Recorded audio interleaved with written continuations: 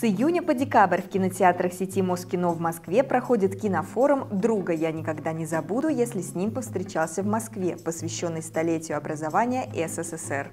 Цель форума, организованного Москино, познакомить всех желающих с уникальной программой советских фильмов, снятых в разное время в разных уголках Советского Союза. В рамках кинофорума в кинотеатре «Спутник» состоялся показ фильма «Алишер Наваи», снятого в 1947 году режиссером Камилем Ерматовым.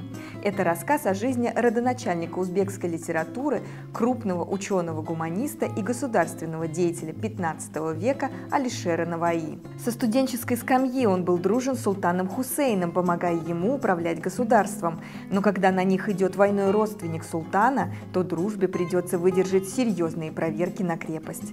Фильм стал знаковым произведением узбекского национального кино. Картина – это была одной из первых э, в череде таких э, историко-биографических фильмов советских конца 40-х годов. В ней э, не только биография великого человека, но и биография это подана в таком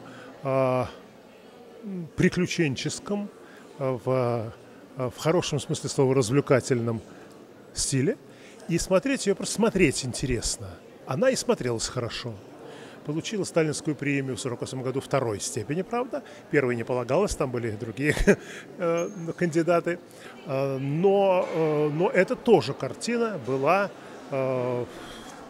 в числе тех, которые народ смотрел. Сергей Лаврентьев отметил, что на показ пришло много молодежи.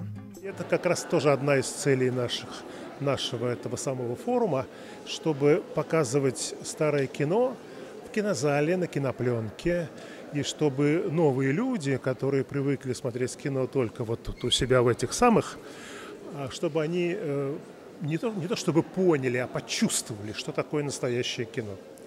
Кино в кинозале, а, когда рядом сидят твои друзья, товарищи, которые вместе с тобой его воспринимают. Информационным партнером кинофорума выступает информационно-аналитическое агентство «Вестник Кавказа».